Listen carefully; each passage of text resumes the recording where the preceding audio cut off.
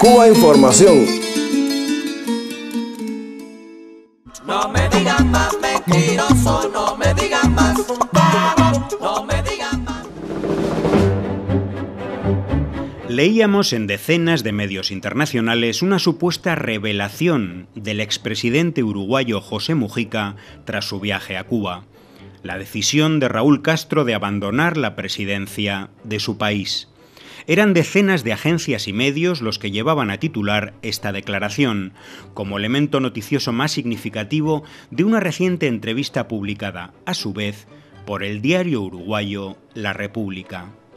Pero, ¿son las palabras de Mujica una revelación? ¿Son siquiera una noticia? ¿Dónde está la noticia si el propio Raúl Castro hace ya tres años, en febrero de 2013, en su discurso de investidura en la Asamblea Nacional de Cuba, anunció públicamente que dejaría la presidencia al acabar su segundo mandato. ¿Qué norma del periodismo convierte en titular algo que ya fue noticia hace tres años y de nuevo el año pasado, cuando Raúl Castro ponía incluso fecha exacta a su retirada, el 24 de febrero de 2018?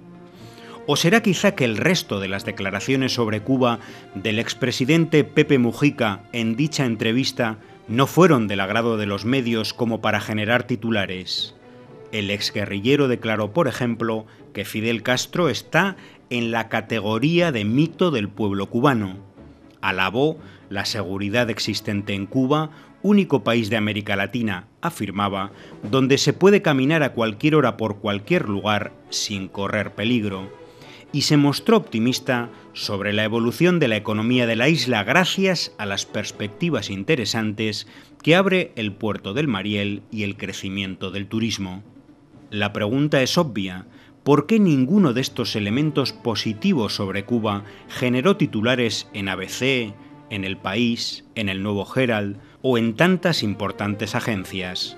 Hace unos días aparecía también en varios diarios, pero en relación a una noticia completamente distinta, titulares con un mensaje sospechosamente parecido. Inteligencia de Estados Unidos prevé probable transición presidencial en Cuba en 2018. Hacían referencia a unas declaraciones recientes del director nacional de inteligencia de Estados Unidos, James Clapper. Y de nuevo la misma amnesia periodística una probable transición presidencial en 2018 cuando el presidente Raúl Castro la lleva anunciando desde hace años? ¿O será que comienza a calentar motores la campaña mediática para vender a la opinión pública internacional un supuesto vacío de poder en la isla?